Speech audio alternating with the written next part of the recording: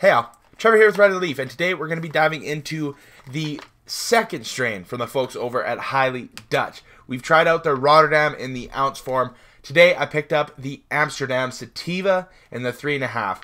Honestly, I wanted to give this strain a shot and see what kind of experience it has to offer before I go ahead and pick up the 28 gram of this. Now, I'm looking forward to getting into it. I hope you guys are too. Let's start things off with a little Amsterdam Sativa from Highly Dutch. Sit down.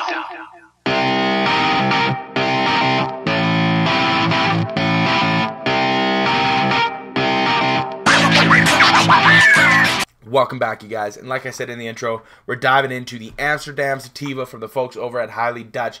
This does fall under the Green Organic Dutchman's LP, so we do get a nice and uh, base start for these uh, these products here, and I'm I've been really impressed with anything that's come out under that Green Organic Dutchman's umbrella, and I'm really looking forward to continually trying anything new that comes out from that LP or even the Highly Dutch one because I've been quite impressed with this as well. Now, before we get into this full review, let's quickly walk you guys through exactly what we're going to be doing and then get things started. So first things first, we cover the information off the bag because that provides us with the information for the strain that we are smoking specifically the THC content, the CBD content, the package date, everything along those lines that may either allow you to compare the strain that you're smoking alongside me if you have this one handy, or compare it to something different if you grabbed it a little bit later or a little bit earlier in the uh, release of this strain, you guys. Secondly, we're going to go over to the Highly Dutch website because I prefer to use the licensed producer's website. We're going to read the little bit of information that they provide off of there, and then we get into our actual review, you guys. We switch over to the herbage scale. We open up our bag, we take a look, we take a smell of the bud, and we score it out of 10. That's the first initial scoring that we're going to be doing. After that, we move on into, there you are, our Boundless CFC Vaporizer. We have three different temperatures we run through. I go over those three temperatures in detail when we get to that part of the review.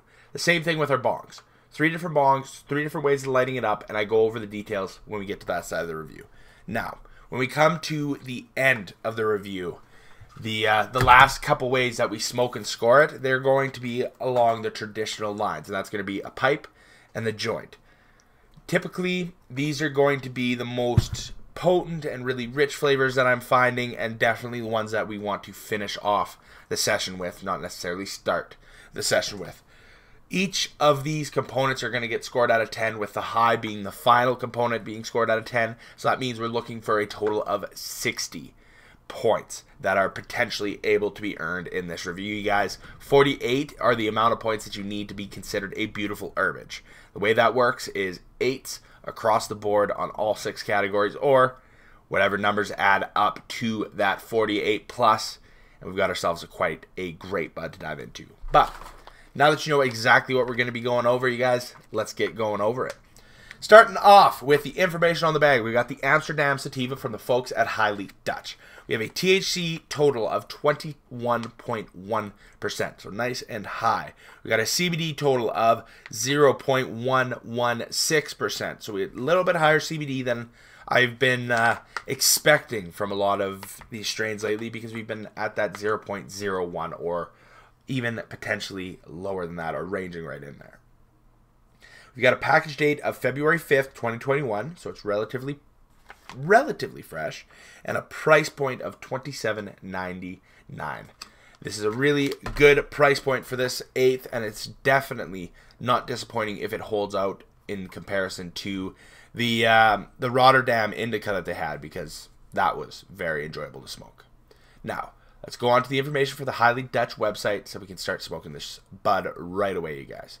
Highly Dutch's Amsterdam Sativa is a rotating selection of organic, high potency sativa flower, packing sweet floral flavors with punchy aromas to complement any occasion. Organically grown, Highly Dutch selects quality flowers that deliver a consistent potency and unique experience in every batch.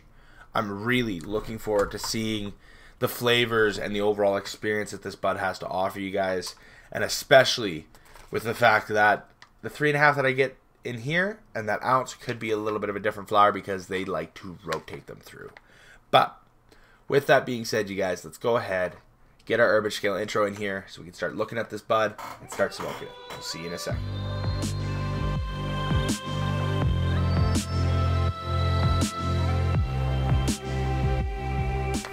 Welcome back, you guys. So, let's open up this bag, dump out this Amsterdam Sativa, and see what we have to play with today for overall quality and consistency of this bud. So, initial aroma is really sweet, very. Oh, there, there is something there that I'm recognizing. I can't quite put my finger on that aroma. Like this is gonna sound weird, you guys, but it's got almost like that pungent bo, like that that kind of ripeness to it. It's different. It is a very different smelling bud, but still something I'm actually now quite intrigued to try because there's kind of that sweet floral experience on the initial, but there's something about it, just that undertone that has me thinking, like it's just that whiff of when you somebody walks by, and you just catch that hint of it. It's not necessarily an offensive smell. It's just like, what the fuck was that? That's what I'm getting when I bury my nose in this bag. Really floral, really sweet, really tea experience at the initial, and then you get that hint of bo that's almost kind of skunky esque. It's unique. It's very, very unique. Now, let's let you guys take a look at the buds before we transition and give this a score. So here we go. We've got the four of the larger nugs, and then we've got the rest of three and a half. There's no real shake in here. The buds are a little bit drier than I personally would like, but again, that's sativa versus indica. These buds are very aerated, very open. You guys can see, like it's it's a standard sativa grow, and that's and knowing that, buds being a little bit drier, it's like the San Fernando Valley OG Kush or the Bow Valley OG from Ojin, you guys. The flowers were just a little bit on the drier side just because of the the actual composition of the buds not being these dense little rocks like you get in the indica flower, but more a little bit aerated and open buds like you get with the sativa. All in all, the look is really nice. You got good crystal coating on it, good coloring overall. It's got a nice looking bud to it. Quite impressed. Now, when it comes down to the score, I'm going to give it a 7. The finish of the bud and the look of it right now on the tray is quite nice. Nothing exciting, nothing really overwhelming. When we come to the aroma, that is definitely the portion that has me much more interested and intrigued to try this bud out. But there's more of just a curiosity and less of that, oh, I can't wait to smoke this. Like with that RC Dreamsicle, when I packed that up, I was excited and looking forward to diving into that strain. Where with this one, I'm not quite sold yet. It'll be interesting to see, and I think once we bust this up and we take a smell as well, I think it'll give us a little bit of a clear idea of where we're going to go for flavor and overall experience. Hmm. That is different. It picked up kind of a citrusy, fruity tone, you guys. But I'm going to quickly roll up the joint, get everything ready to go, and uh, we'll be right back when we're diving in with our CFC vaporizer. I'll see you in a second. Thanks to the Power Editing. Hey guys, and welcome back. And thanks to power editing, we were able to just slide away those couple of minutes while I was rolling up the joint, and I fumbled through the initial introduction of this vaporizer. So let's try it with part two, and uh, hopefully it'll go a little bit smoother than the original. So three temperatures we're looking to hit: 175, 205, and 220. 175 is going to be our base temperature. That's going to be our starting point. Limonene and myrcene are the two terpenes we're looking to hit at that starting point. So the limonene is going to give us that more, just like the name says, lemon based flavor. That sharp, citric, acidic experience that the limonene strain has to offer. That can be transitioned into more of an orange, a grapefruit, any sort of citrus based flavor that limonene has potential to play with. Now, myrcene is the other terpene we're looking to experience at the 175 range. That's going to give you potentially a mango, that juicy mango flavor. But the fruity isn't guaranteed. That juicy side definitely is because you can get a range from that mango into a very vegetative green herbal experience, almost a rainforest type of humidity to go alongside with that, to as far over as a hopsy, peppery kind of experience as well. Now, while this is charging up and get ready to dive into that 175, you guys, let's go over the 205. The 205 is going to be where our cream rich, potent flavors and aromas start to uh, start to show up. So anybody that's looking for those chocolatey, those creamy berry experiences, the cheesy, the cushy, that earthy tone, 205 is the place where you want to go and play because that's really where those rich, potent, creamy tones like to play. 220. We finish off at 220 because of again two points. One is going to be the beta caryophyllene terpene. That's going to give us a peppery, woody experience and is one of the strongest terpenes on the, uh, well, one of the strongest terpenes that we know of right now. They're considering it potentially a cannabinoid, you guys. And I know I've said that a lot, but I'm waiting for more information before I can really dive into that type of a video with you. The second thing is going to be the highest level of THC being boiled off. So it's going to be the strongest overall effect at that 220. With the beta caryophyllene and the highest level of THC, I can definitely expect that. Now, with the vaporizer ready at 175, let's haul through these three temperatures, see what we got for an experience, see what we've got through a flavor. Then we can dive into our bongs, you guys, because that is definitely my preferred way to smoke. Cheers, and let's get to this.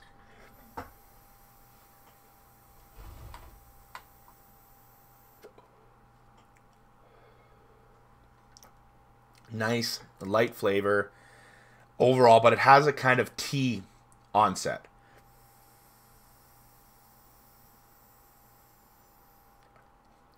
Vaping this, this is actually reminding me a lot of that lemon Thai strain.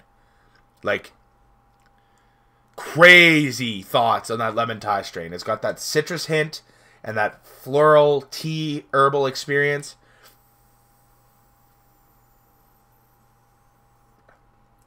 That's crazy. That is 100% what I'm tasting is a lemon Thai strain. What I remember of that strain, that's what I'm tasting at the 175. Lemon and an Earl Grey tea, but sweetened lemon and that Earl Grey tea. Very, very good. 205. I'm curious to see what this has to offer.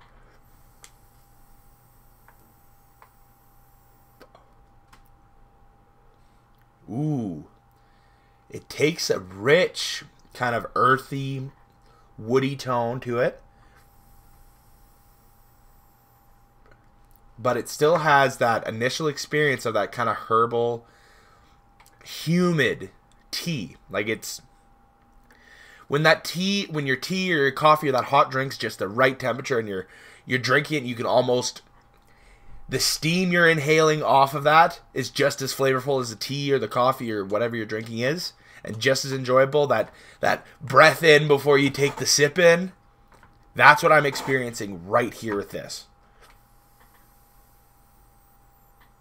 I'm blown away, you guys, with this vaporizer. I'm absolutely blown away.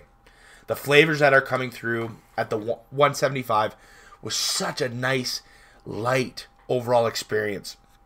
The 205 is like adding it the 175 is like taking the first couple of sips before the tea has time to steep. The 205 is like adding a biscuit and drinking it after it's had time to steep. I'm loving this flavor, you guys. I am very, very excited to get into and smoking more of this. 220. Let's see what this has to offer.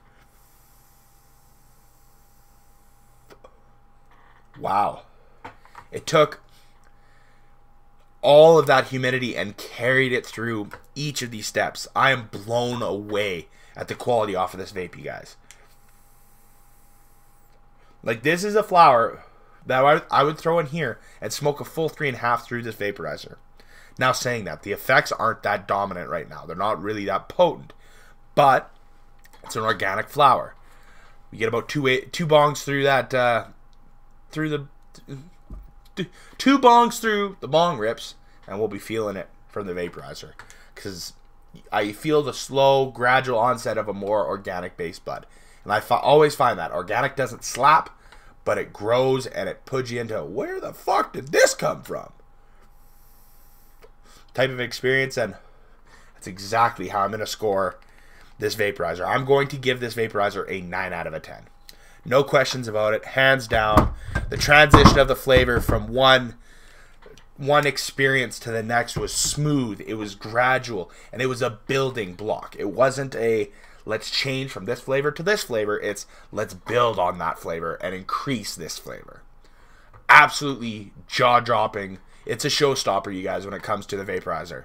The only the only thing that I would say I wish there was more of was just a little bit of a cleaner, crisper taste. And I think upgrading my vaporizer could be what what gives me that, like running a PAX base or maybe a volcano or something along those lines, where the technology is just a little bit better.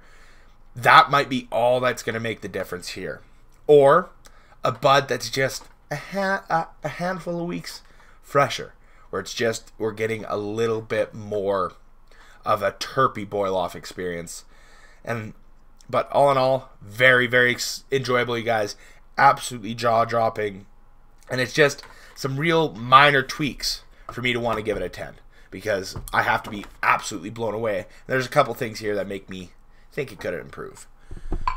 All in all, though, very, very impressed. Now, when we go over into our bongs, we're going to follow the same technique that we did with our vaporizer. We're going to go from the lowest temp up to our highest. The way we do that is we start things off with our hemp wick.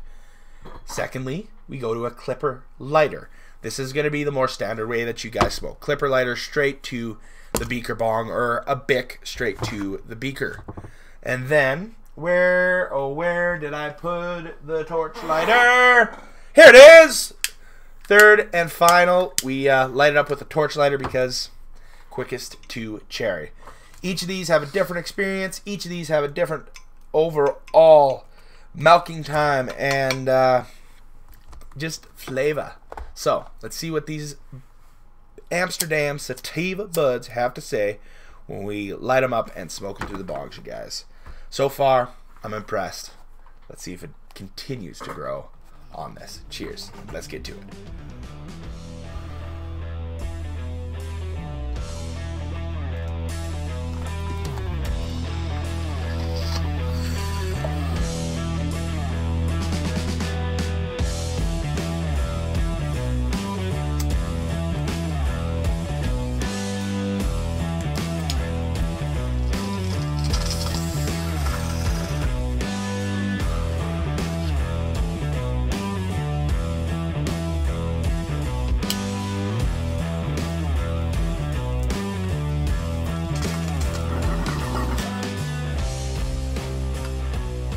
So I'm going to end up giving this a 7 out of a 10. Now, primarily, this is going to be getting that score because of the smooth, even smoke that comes off of this bong, comes out of all three of the bongs. The initial one was definitely the harshest, which it, it typically is. There's very few flowers that I'm finding with that straight pipe and the hemp wick when we're milking it in there that it's the smooth, flavorful experience. It definitely has more of a sharp, crisp, hit you with everything we have type of an experience and then passes very quickly where with the lighter or the jet lighter it seems to be a lot more of a gradual growth nice experience with the flavor and then a gradual passing. For most strains or any of the ones that have a really nice flavor to it. This one i wouldn't say had anything too exciting. I was getting hints and kind of nudges towards either that citrus flavor or that kind of tea herbal experience. All in all, it was quite enjoyable. It was uh, it was an all right experience to smoke through the bongs. I can feel the high starting to gradually build up. I'm starting to feel a little bit of a pressure behind my eyes and in, in around my ears. So it's it's coming. I just don't know how heavy it's going to hit you guys. Now, we're going to go ahead, dive into the Regal, see what we have to experience here before we smoke the joint. We talk about the high, we wrap up this video let's get to you guys. We're making good time, and let's continue to do that. A 7 out of a 10. Its overall experience was quite nice. Again, very smooth bud to smoke. Very light overall flavor, but it does take that wood experience from the pipe and just really dive into it. It adds a nice humid and light citrus experience to it. So I'm getting kind of hints of that lemon wood on top of just like a really soft warm wood flavor. I don't I don't know if that's the best way to describe it, but that's really what it is. It's a very welcoming taste, a very enjoyable, welcoming taste that makes you want to go back and smoke it again. Now, it's not overly powerful, it's not overly memorable, but it's one that that in the moment it's got your attention. It makes you want to go back there and try it again. Now, we've got our joint here. Really sour, gassy flavor on this first uh, dry haul. Just a hint of a citrus flavor. But let's go ahead, light this sucker up, and see what we can do, folks. Hey guys, so I'm going to end up giving this an 8 out of a 10 for the taste from a joint. Really smooth, really nice overall experience. It does kind of swing from a lemony touch, lemony hint, into a really nice, that warm, welcoming, woody experience that's sitting there. Like, there's, and it, there's just a touch of pepper that sits around the back of your throat. It's not affecting the flavor, it's just to let you know that there's a little bit of spice going if you don't take another haul. Like if you let it sit, you can feel that spice start to kind of linger onto your tongue, but it's not an unenjoyable experience. It's actually quite a nice high, quite a nice smoke, and uh, quite an even flavor presentation through this. I lost a lot of that lemon and citrus flavor once we got to the last third of this joint, but I'm not upset because that warm, welcoming, woody experience is starting to get a little bit of an earthy tone, which I could almost reach and try and think of it as a Kush bass tone. But for now, you guys, I'm enjoying this, and I uh, I definitely think you guys would enjoy the overall smoke. Now, when it comes to the high, I wouldn't describe this as a straight up sativa. This one for me is a nice balanced high. It's definitely not so much an uplifted, creative type of a high. Um, uplifted and creative in the sense of I want to go and work out, I want to get up and doing something. It is much more a I don't want to say sedative, but easing easing creative kind of a high where you want to sit down and have a nice conversation, you want to do something like this. I could get into my video games. It's going to be interesting to see how live streaming's going because that's definitely something that you want a little bit more that uplift, a little bit more. Okay, okay, okay, because that multitasking, that that speed, that necessity to go back and forth plays a little bit of factor. This I'm not too sure about. Maybe if I'm not playing Warzone or I'm doing more like a story-based game or something along those lines, maybe. Now, all in all, very nice experience very smooth flavor, and I'm I'm quite impressed with how Highly Dutch did with this. We ended up getting a 46 out of 60 for the overall on this bud, which is quite nice. And honestly, you guys, for the price point, the 40 the 46 is a is a good score. Especially when you're paying under $30 for the eighth. That's really, really nice. And the organic bud being there, that's a good thing to know. That's a uh, it's a really good thing to be able to sit back and enjoy it. But now, you guys, I'm gonna go ahead, hop on some games with Kelton. I will be back later tomorrow. I got a special one for you. Seems like there's been quite a bit of hate for that unicorn poop. So I said, fuck it. Let's review it. We're diving into it on Saturday. We're going to see if we smoke it or we shit it on our Saturday review you guys are getting a third one hitter weed review. And then next week, we got a lot of fun content coming your way. I'm looking forward to it, but you guys are going to find out about that tomorrow and on Sunday. But let's wrap this one up. I'll see you guys in the next one. Don't forget when the end card slides in, hover over the logo, click that subscribe button, and the bell notification so that you know anytime one of these videos go up and uh, premiere or I go live with Kelton on Warzone or any of the other games and shenanigans we get involved in. But for the time being, don't forget to click on one of those bottom two videos for you. One's the most recommended for you, the other one's the most recently uploaded. Please click on either of those and anything else I have to offer along that right bar under Red Leaf. That joint's done. This review's done. I hope you enjoyed. Cheers, you guys, and I'll see you in the next one.